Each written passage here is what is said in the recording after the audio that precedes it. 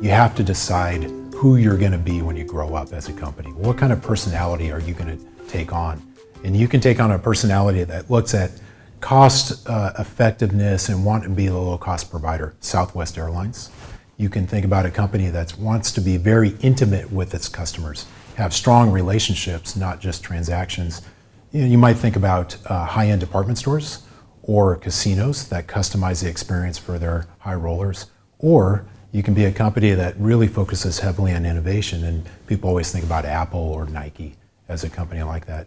And for Intuitive, we focused on innovation. That was our personality. It's who we remain today. And the key here is that you want to excel, be world class in one, right? And be competent in the other two. If you try to be world class in all three, you will not succeed. In our world, now this isn't always true, you, you end up at wanting and having to manage complexity, right? That you end up with a, a more complex product line because you're heavily innovating. You have to be willing to obsolete yourself.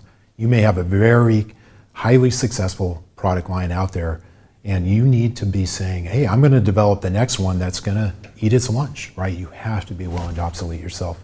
And it's the way you budget, it's the way your conversations, it's the top goals in the organization are always about innovation, always about putting that next thing out. And that's those are some of the characteristics of an innovative company.